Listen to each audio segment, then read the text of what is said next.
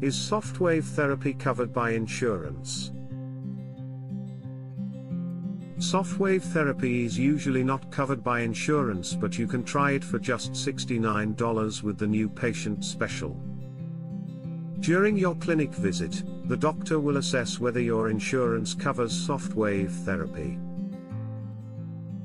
Similar to LASIK eye surgery, most insurance policies don't cover SoftWave therapy because it is considered an elective procedure.